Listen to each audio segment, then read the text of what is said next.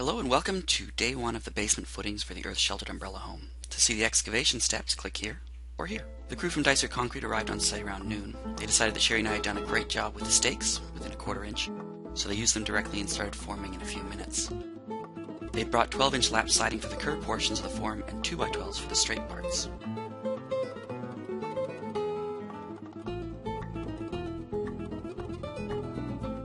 Doug brought his copy of the plans and we referenced it regularly.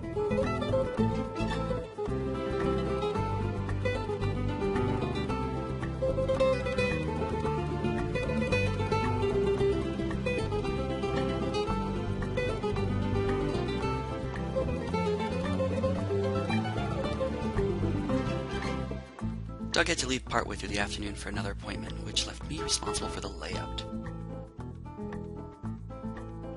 I had made several mistakes that I realized right after the boards were cut and nailed into place.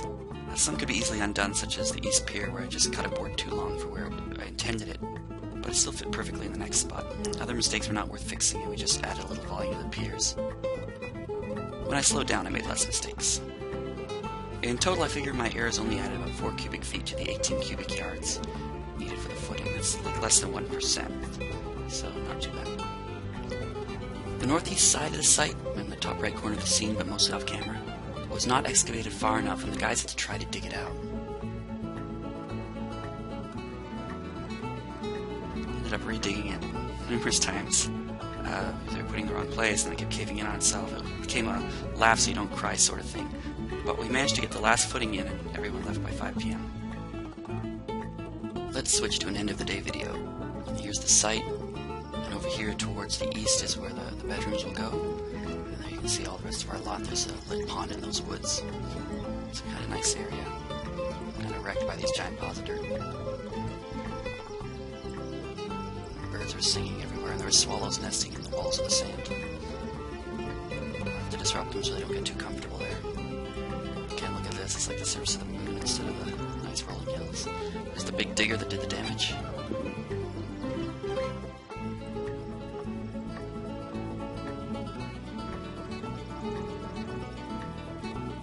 Let's jump down inside the pit for a quick little walkthrough. The laser level that Doug brought was not working, so we just put the forms in for now.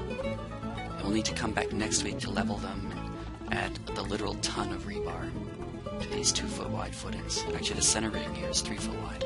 For that video, you can click here. The end of this line is one of those toes that the building inspector had, had us add to the plans. Here's another one. They hold up uh, pilasters that are going to support the doweled main slab footings. This curve around toward the east. Another pier there on the right. And on the left here is that circle where the guys were digging out this whole corner.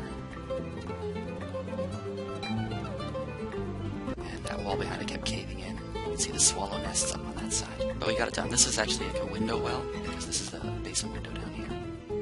More piers. The piers are going to hold those big concrete precast ribs that I'm making. Here's a step toward the bedrooms.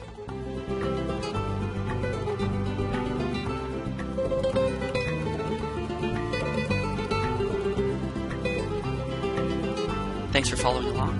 We'll pick it up Monday with adding rebar level on these forms.